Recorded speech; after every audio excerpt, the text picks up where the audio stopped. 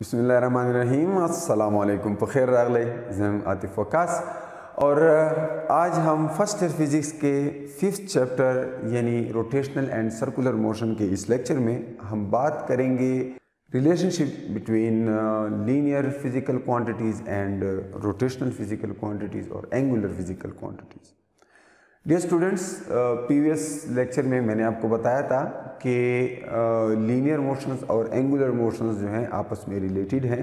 And uh, uh, मैंने बताया था कि uh, दुनिया की पहली मशीन यानी एक पहिया व्हील जो है वो रिलेशनशिप है लीनियर और एंगुलर मोशंस की। आज हम उन रिलेशनशिप्स को अंडरस्टैंड करेंगे। मैंने यहाँ पर एक लिस्ट बनाई है फ़िज़िकल क्वांटिटीज़ की।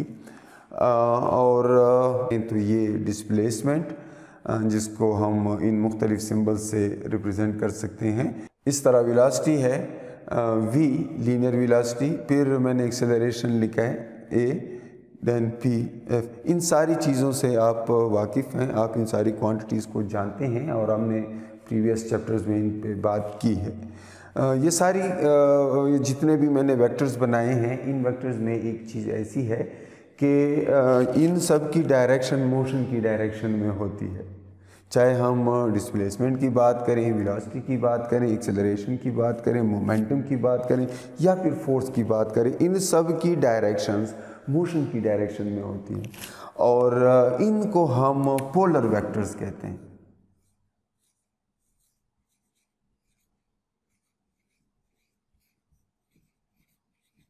पोलर वेक्टर्स ये सब पोलर वेक्टर्स हैं। फिर, ऐसी फ़िज़िकल क्वांटिटीज़ भी हैं कि जो एंगुलर मोशंस को डिस्क्राइब करती हैं। सेम नेचर है उनका। ये मोशन को डिस्क्राइब करने के मुख्तलिफ़ पैरामीटर्स बिल्कुल इनके एनालॉग एंगुलर मोशन में इस तरह के पैरामीटर्स मौजूद हैं और वो एंगुलर मोशंस को डिस्क्राइब करते हैं और उनको भी अगर हम वेक्टर्स मान लें तो इस तरह के वेक्टर्स को हम एक्सियल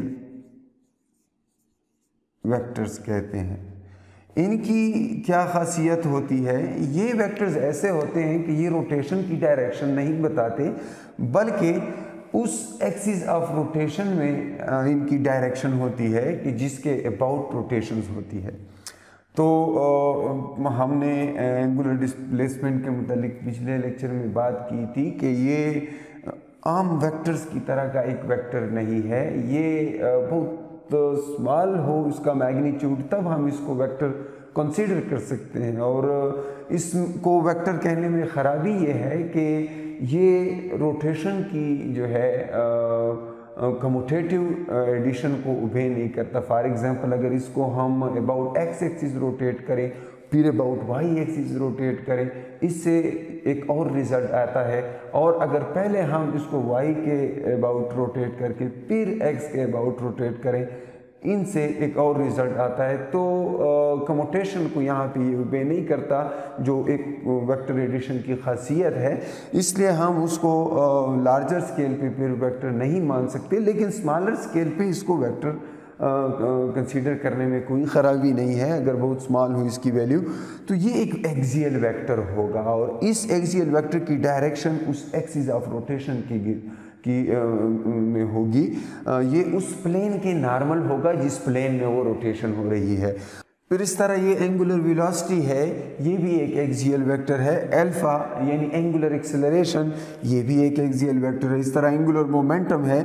और फिर इस तरह टार्क, ये सारे एक्सियल वेक्टर्स हैं। इनकी डायरेक्शन उस प्लेन के परपेंडिकुलर होती है, जिस प्लेन में वो रोटेशन हो रही होती है। इसमें दो पॉसिबिलिटीज़ हो सकती हैं, या वो पॉजिटिव होगा, या वो नेगेटिव होगा डिपेंडिंग अपॉन कि मोशन क्लॉकवाइज है या एंटी क्लॉकवाइज है। इसके बाद हम इन दोनों को अब रिलेट करते हैं। तो इनकी रिलेशनशिप के ये सिंपल जो है फार्मूले में अगर यहाँ पर लिख लूँ एस जो है, ये आर थीटा है और ये आप ऑलरेडी उसमें अंडरस्टैंड कर चुके हैं। जब आप प्लेन एंगल के मुतालिक पढ़ रहे थे फ़र्स्ट चैप्टर में इसके बाद हम इनको रिलेट कर सकते हैं इन मुख्तलिफ़ इक्वेशन से। ये सारी इक्वेशंस जो हैं, हम इनको अलग अलग से डिराइव करेंगे। बहरहाल इसमें एक चीज़ आप देखें और इन दोनों को हम इस तरह फिर रिलेट कर सकते हैं। मुख्तलिफ़ एक्सप्रेशन है S is equal to R theta V is equal to R omega A is equal to R alpha L is equal to R P tau is equal to R F तो आप देख रहे हैं कि इन दोनों में are involve है। ये अगर रोटेशन है कोई रिजिड बॉडी है तो आर जो है मूवमेंट आम होगा। और अगर ये आ, कोई ऑब्जेक्ट है किसी एक्सटर्नल पाथ से सर्कुलर मोशन कर रहा है तो ये उस एक्सटर्नल सर्कुलर पाथ का जो है रेडियस है। बहरहाल इनको हम अलग अलग से डिराइव करते हैं। इनको मिटाना पड़ेगा।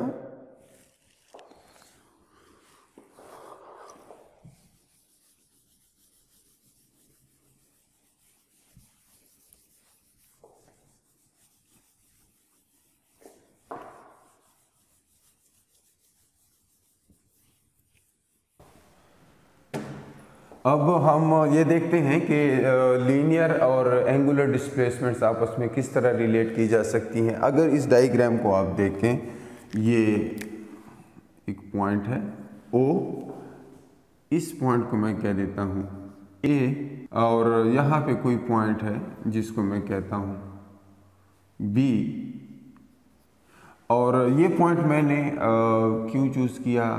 क्योंकि मुझे इसकी ज़रूरत पड़ने वाली है कुछ ही देर में। एंड इस पॉइंट को मैं कह देता हूँ पॉइंट डी और ये मैं फ़िलहाल रिमूव कर देता हूँ।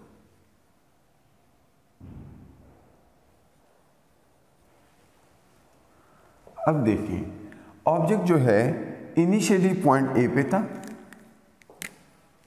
और उसका जो पोजीशन वेक्टर था दैट वाज हेयर और, कुछ टाइम के बाद वो ए से डिस्प्लेस होकर डी पे गया और अब उसकी नई पोजीशन जो है that is d or uska position vector remains the same because it is uniform circular motion so the magnitude of that position vector is same but it is changed by some uh, angle and uh, that is called angular displacement मैं इसको मिटा कर यहाँ पर उस angular displacement की value लिख लेता हूँ दैट इज़ थीटा अब मेरे पास uh, एक आर्क आया and that arc D to A is called S मैं इसको एस कहता और अब मैं उस आर्क की लेंथ रेडियस के इक्वल ले लेता हूँ और एक दूसरा पॉइंट मेरे पास आ जाता है B and the new position is here अब अगर आप इस डायग्राम को देखें, इस डायग्राम में हमारे पास दो सेक्टर्स हैं। एक सेक्टर है ओ, ए, बी, यहाँ एक सेक्टर इस तरह है कि ओ से ए तक का डिस्टेंस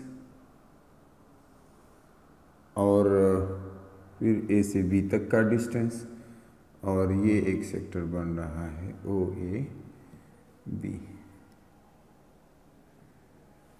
ठीक है।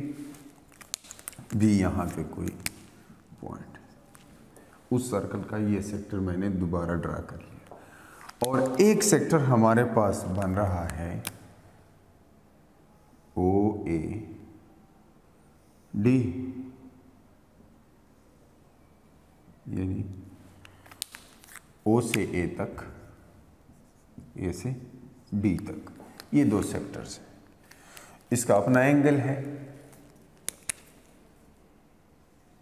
दैट इज़ वन रेडियन क्यों वन रेडियन क्योंकि हमने ओ ए और ए बी की लेंथ सेम ली थी according to the definition of radian ये ओ से ए तक का जो डिस्टेंस है that is R and A से बी तक का जो डिस्टेंस है दैट इज़ आल्सो आर तो मैं ये लिख सकता हूँ कि arc A B that is equal to R और दूसरा, इसके करिस्पॉन्डिंग जो एंगल है that is angle A O B and this angle is one radian angular displacement is one radian और the case when S is equal to R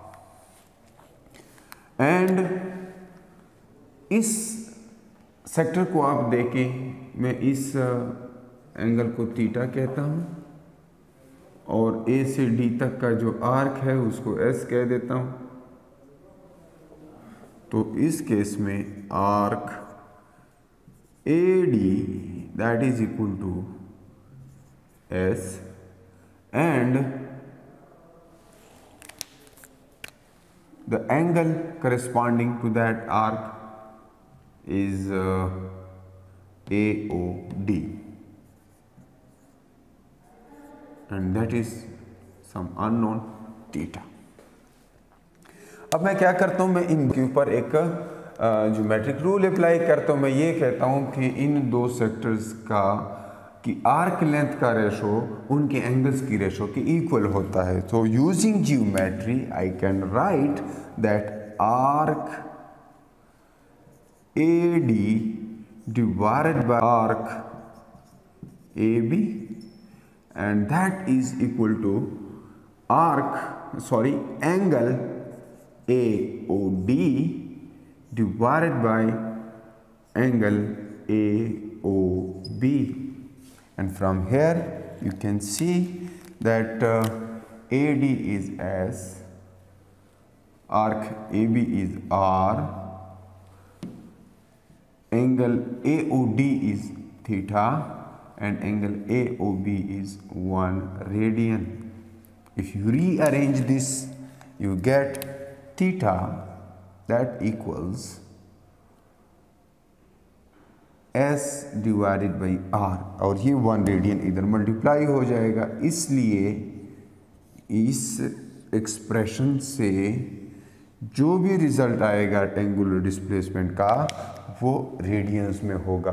फिर आप अपनी ज़रूरत के मुताबिक इसको अदर यूनिट्स में भी कन्वर्ट कर सकते हैं। अगर आपको डिग्रीज में चाहिए तो रेडियंस में जो रिज़ल्ट है, इसको 57.3 के साथ मल्टीप्लाई करें। वो फ़र्स्ट चैप्टर में हमने देखा था कि किस तरह एंगल्स और डिग्रीज और रेडियंस को आपस में हम इंटर कन्वर्ट करते हैं। बहरहाल इसके बाद मैं ये करूँगा कि इसी को आगे कंटिन्यू करके एंगुलर वेलोसिटी की बात करूँगा। लेकिन इसको मैं एक और भी सिंपल फॉर्म में तब तक लिख लूँ and that is S is equal to R theta, where theta is in radians okay now I use this expression and I want to derive expression for the velocity because uh, uh, if linear displacement is r time the angular displacement how can I write the velocity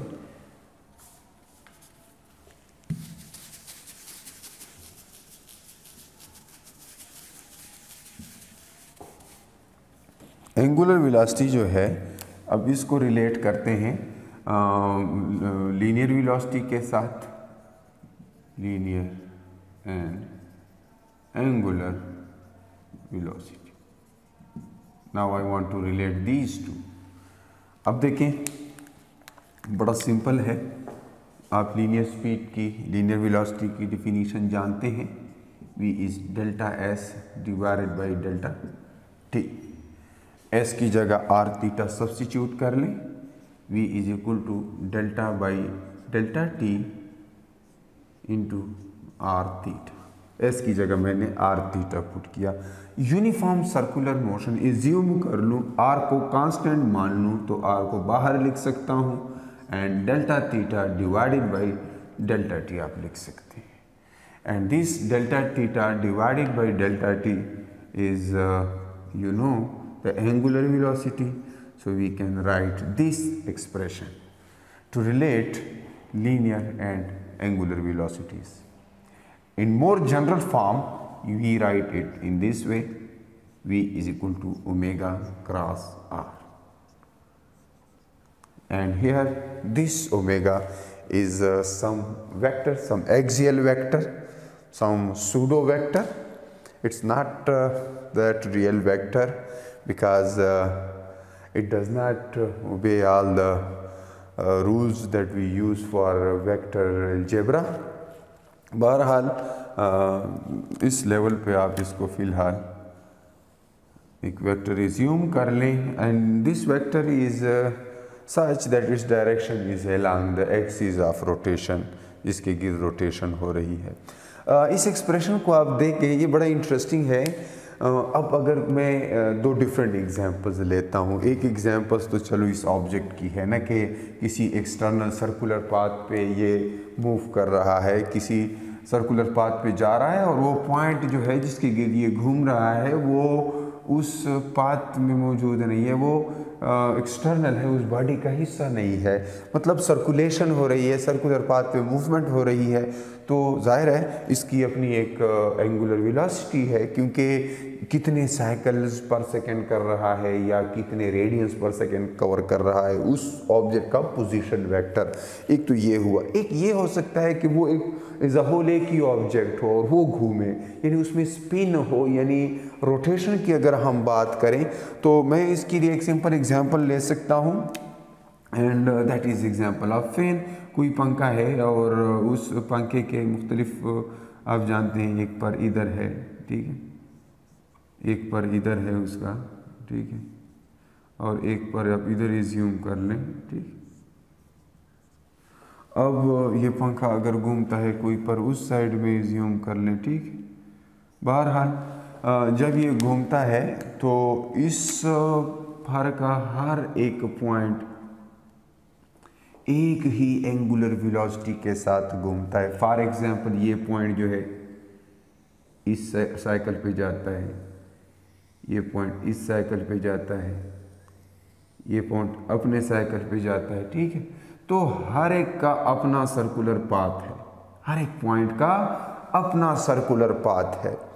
इन points में से कौन सा point सबसे तेज जा रहा है? अब ज़ाहिर है, all these points are part of a single rigid body. And उसमें ये है कि इन दोनों पॉइंट सारे पॉइंट्स के दरमियान डिस्टेंस फिक्स्ड है. They are attached by some force of constraints and that is why they are bound to move collectively वो अलग अलग से मूव नहीं कर सकते. इसलिए उन सब की एंगुलर वेलोसिटी कांस्टेंट होगी. This angular velocity is constant अब अगर कोई हमसे ये पूछे कि पॉइंट ए तेज़ जा रहा है पॉइंट बी की लीनियर वेलोसिटी ज़्यादा है या पॉइंट सी की वेलोसिटी ज़्यादा है तो आप क्या कहेंगे? जी।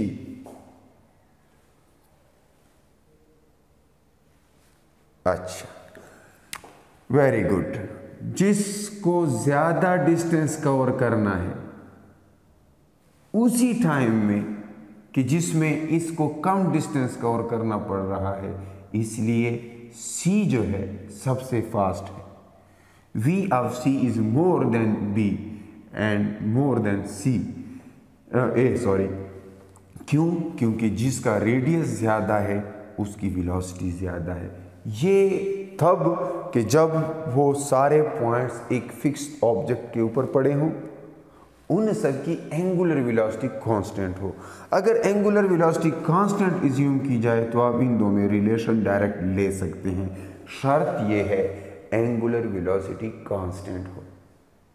लेकिन अगर एंगुलर वेलोसिटी कांस्टेंट ना हो, फिर सिचुएशन अलग होती है। जिस तरह सन के अराउंड अर्थ की मोशन है, फिर मार्स की सन के अराउंड मोशन है, फिर इस तरह जुपिटर की सन के अराउंड जो मोशन है, उन सब के रेडियाई डिफरेंट हैं। इन सब के एंगुलर वेलोसिटीज़ डिफरेंट होंगी। और फिर अकॉर्डिंगली उनके लीनियर जो टेंजेंशियल वेलोसिटीज़ होती हैं at any instant of time जो ऑर्बिटल वेलोसिटी या टेंजेंशियल वेलोसिटीज़ हैं, वो भी डिफरेंट होंगी। लेकिन इस सिंपल रिलेशन से हम तब ही ये बता सकते हैं कि वेलोसिटी ज़्यादा या कम होगी जब एंगुलर वेलोसिटी को आप कांस्टेंट मान लें। ठीक है? बहरहाल इसके बाद हम जाते हैं एंगुलर एक्सेलरेशन की तरफ़।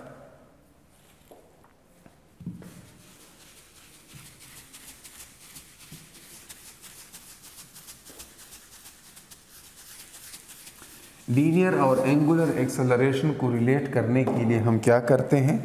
हम, फिर वंस अगेन यहाँ से स्टार्ट ले लेते हैं। V is equal to R omega दोनों साइड टाइम डिफरेंशियल ले लें, यानी टाइम पे डिवाइड करें। Delta V by delta T आप जानते हैं एक्सेलरेशन है। या एक्सेलरेशन की डिफिनीशन में इसको सब्सिट्यूट कर लें। आप एक्सेलरेशन की डिफिनीशन लिख लें। Delta V by delta T इसमें v की जगह आर ओमेगा पुट कर लें। And this way if you assume the r to be constant you take it outside that change and you get delta omega by delta t. And this way you get alpha that is angular acceleration and this is linear acceleration. And uh, from here you can see that uh, once again r relates these two. Well uh, if you want to write it in vector form and this is the more general form of writing it. So you get this. And alpha is once again the axial vector. And its direction is uh, calculated by right hand rule. Uh, that is uh, um, its direction can be uh, determined by using the thumb in the direction of uh, the axis of rotation. And the curl of fingers show the rotation and uh, जैसे पहले भी मैंने बताया कि axial vectors जो हैं उनकी direction motion की या रोटेशन की डायरेक्शन में नहीं होती। उनकी डायरेक्शन एक्सिस ऑफ़ रोटेशन में होती है। उस प्लेन के परपेंडिकुलर होती है जिस प्लेन में वो मोशन हो रही है angular motion so this way we can relate the alpha and once again important thing is ये एल्फा जो है Uh, एक्सेलरेशन जो है this is not the centripetal acceleration remember this acceleration is in this direction why that is because here we are having cross product ये न तो alpha की direction में हो सकता है ये वेक्टर न आर की डायरेक्शन में हो सकता है, क्योंकि क्रॉस प्रोडक्ट का रिज़ल्ट उस प्लेन के परपेंडिकुलर होता है। तो ये अगर एक्सिस ऑफ़ रोटेशन के एलॉन्ग है, ये अल्फ़ा की डायरेक्शन ये आर की डायरेक्शन तो न ये एलांग द रेडियस होगा, न एलांग द एक्सल होगा, ये टेंजेंशियल टू द रेडियस होगा, ये परपेंडिकुलर टू द एक्सल होगा and this acceleration is the tangential acceleration remember this is not the radial acceleration do not confuse it with the centripetal acceleration. So this is how we relate the linear quantities to the angular quantities. We have another quantity that is uh, angular momentum that can also be uh, related to the uh, linear momentum but we discuss it in some next lecture आज के लिए इतना काफ़ी था आप इस पर practice करें इसको अंडरस्टैंड करें इसमें अगर कहीं पे आपको कोई प्रॉब्लम हो किसी चीज़ की समझ ना आई हो तो आप नीचे कमेंट्स में मुझे बता सकते हैं, मुझे ईमेल कर सकते हैं, मेरे फेसबुक अकाउंट पे या मेरे फेसबुक ग्रुप में आप मुझसे पूछ सकते हैं, जो भी आपको कन्वीनियंस जिसमें भी आपको कन्वीनियंस हो, आप बताएँ और मैं इन रिस्पॉन्ड करूँगा। अपनी दुआओं में याद रखें। अल्लाह ताला पामान अस्सलाम वालेकुम